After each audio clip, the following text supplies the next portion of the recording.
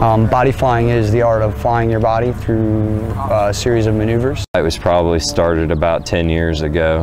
We come up with body flight as a general term to make our, create our own word to make what we do a sport.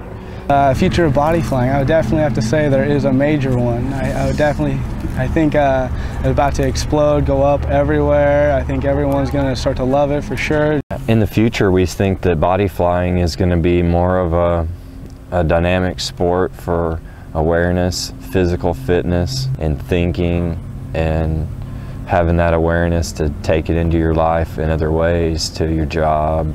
A lot of people putting all their abilities together and showing each other pretty much tricks, not really trying to outdo anyone, just pretty much just showing their abilities. So. Has just grown into a profession that's benefited the experts the first time, so just the teaching techniques that we've developed in body flying has been able to teach people to fly within a matter of minutes, that understanding awareness, orientation. Being a body flight coach is really cool.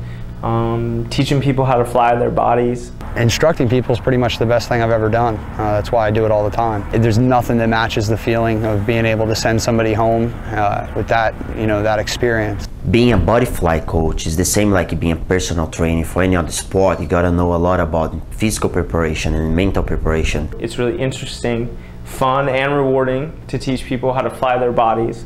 Tunnel flying is real vertical up and down on a line so you really can tell if you're moving around a little bit so you can critique yourself, take videos of all your flights so you can see the improvement as you go. You'll see your positions change as you develop different techniques. It's just a different feel. The wind tunnel is really cool because you can go with your friends and they can see how you do and, and you guys can fly together. You can, it's kind of like hanging out at a party and everybody's there and everybody can see you and you can see them.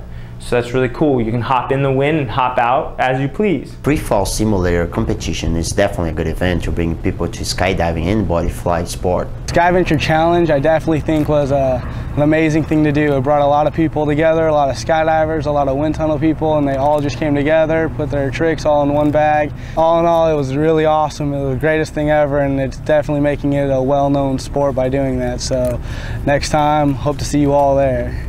You know how to do it. Just keep practicing, relax. Remember, trying hard usually doesn't work. Go with the feeling.